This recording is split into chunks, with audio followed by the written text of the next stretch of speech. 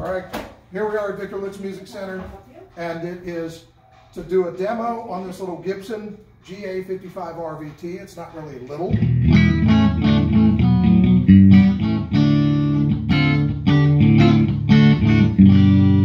We're just showing you that it works, playing it through a Japanese Strat of all things.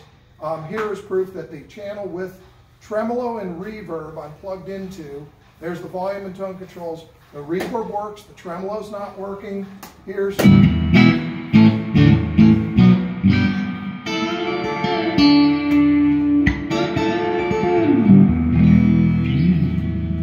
and no tremolo.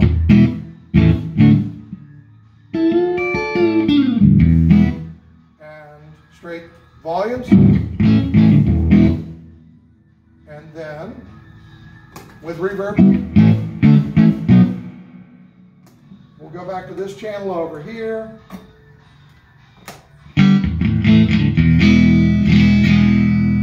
Bass control. Mid-range. And treble.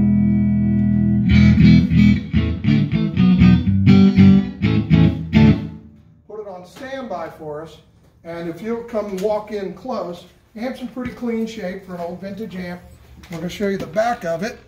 And it's heavy. And there it is. And the back, it does come with the original foot switch or a foot switch. Looks like original to me. But they've got the cover set so that we can tilt it back and see in there. Somebody's upgraded it to Kendrick speakers.